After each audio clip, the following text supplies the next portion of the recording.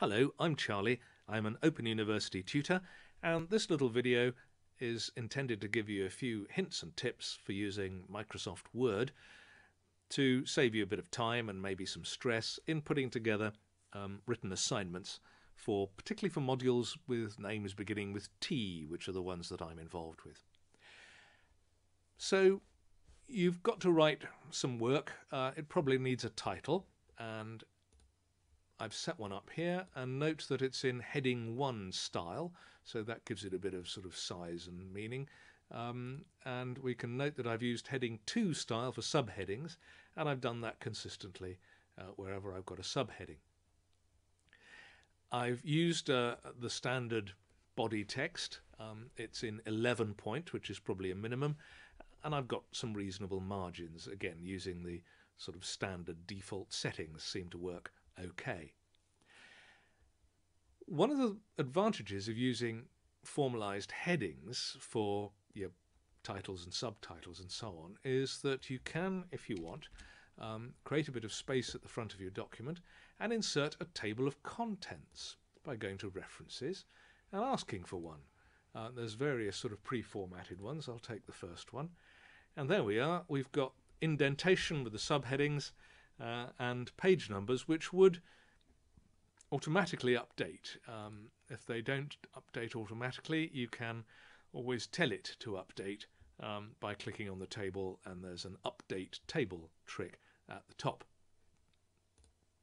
So table of contents can be useful and so can a header which we get from the insert menu and select a header which will then appear on the top of every page of the document. It offers me a few sort of standard ways of doing it. I'm going to customize mine by clicking edit header and put in my name. Uh, that's always a good thing for my tutor to know. Uh, I'm going to put in my personal identifier or some of it um, I'm going to put in the assignment I'm doing. I don't know if you know about TMA 00. Most modules have the option of sending your tutor one of these. It gives you a chance to practice using the ETMA system and it gives your tutor a chance to be sure that they can open your document. You don't want to be having that kind of stress with an actual live assignment. The beauty of TMA 00 is that it hasn't got any marks involved. Um, I'd probably also, for my own peace of mind, remind myself of what module I'm doing. Uh, that can help tutors. Some of us are involved with multiple modules, so that's that's a, a, a useful trick. Um, one could put in page numbering and so on as well in the header. To get rid of the header, you can use the fairly intuitive close header and footer, or you can just double click in the main body of your document. At this point, it's probably worth saving what we've done um, I'll show you where I save my documents. I save them using Google Drive. I could use Dropbox or OneDrive or various other tricks and um, methods for storing things in the cloud.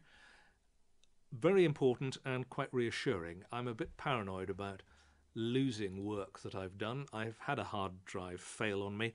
I know students who've had hard drives fail or entire laptops fail.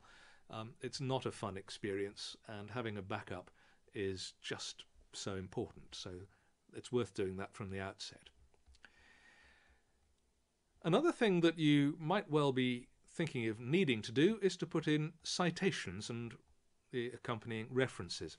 This is important in all academic work for two reasons really. One is if you don't cite um, ideas or even more importantly quotations that you've taken from somebody else's work, um, you might be accused of plagiarism which is a slightly politer form of cheating.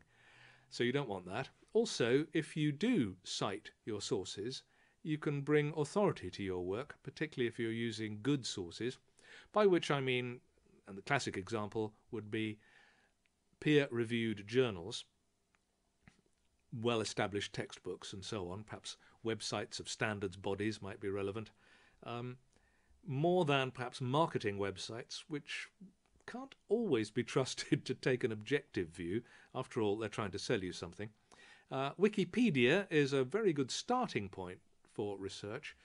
Perhaps best to look at the formal original sources that are often quoted at the bottom of Wikipedia pages rather than the pages themselves because you're never quite sure who's been involved in the editing of them. So lots of reasons to put in citations. Um, we use the OU Harvard style on most T modules, so that means that in the text you've got typically a, a surname and a date. So let's see how we can turn uh, some citations that I've already created, not perfectly, because that OU one doesn't have a date. We'll sort that out in a moment. Um, I want to add a reference section, so I put the cursor where I want it to go, and I go to the References tab. Um, note that uh, the citations I've got are already there. Um, I can have a look at those by managing sources. Uh, it's at this point that I can sort out that OU website. Um, if I uh, want to show that um, as I can edit, that's what I'm looking for. Uh, I want to cite it as um, the date, so I need to put that in. Uh, it is a sort of current thing, so I'll put in 2015 because I have actually checked it. And I want to update in both places. So now that citation should have a date. Ah, there it is. So I've updated it from my master list. Now, um, I now want to uh, just get my cursor in the right place again. I now want to insert a bibliography. Now, uh, there's various styles on offer that I can have a look at. You might think that Harvard Anglia 2008 would be the one, but actually it's not quite as close to the OU Harvard style as APA 6th edition. Uh, in my copy of Word, there isn't an OU Harvard option, which is a shame, but there we are. So now I'm going to create the bibliography. I, this time I'm going to accept the offered pre-formatted one. And ah, look, it's not so bad. It copes with a book, um, slightly fictitious book, which hasn't doesn't exist at the moment. It copes with uh, um, article in a learned journal, the American Society of Information Science Journal, um, and it copes reasonably well with a website. It's not quite in the OU Harvard Guide. If you want to see what the OU Harvard Guide really wants, uh, it's all um, on that OU web page, so you can go along there and have a look. Better just show you how to add a new citation. So if I wanted to add some further reading, further reading. Okay, I'm going to add a citation now. That I do know how to do. Insert a citation. There are the existing ones. I'm going to add a new source. It's a book. Its author is a great scientist with a wicked sense of humour um, and a great communicator as well called Richard Feynman. And I've got to spell his name right with two N's. The title of the book that I'm quoting is Don't You Have Time to Think? Question mark. Um, the edition I've got was published in 2006 in London by Penguin. There is an American edition with a slightly different title, but I'm not going to bother about that. So that's now appeared as a citation. My bibliography needs a couple of things doing to it. One is to update it. So there we are. Now we've got Feynman in there. Um, the other thing to do is to um, change the word bibliography to references. The difference is that references are things I've cited, whereas the um, idea of a bibliography is material that you've read that's informed your work and not quite the same as the references, which are the things you have actually cited. I was just panicking a moment there because we seem to have lost one of the references, but it's clicked over onto the next page. Um, one thing to note is that it's kind of automatically sorted them into alphabetical order, which is a good thing. Um, it's got them more or less in the OU Harvard style.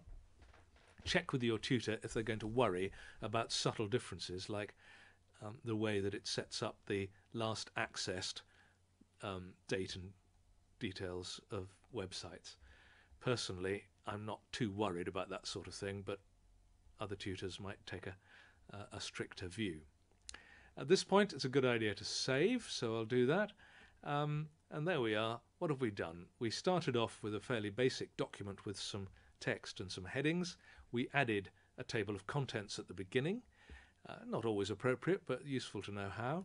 We added a header uh, with some important OU type details, and we took some existing citations, um, which you can always check over by looking at the Manage Sources, and here you can fine tune the way they appear if you want to by using the Edit button. Um, note that you create a master list and a current list, and you can explore what that all means.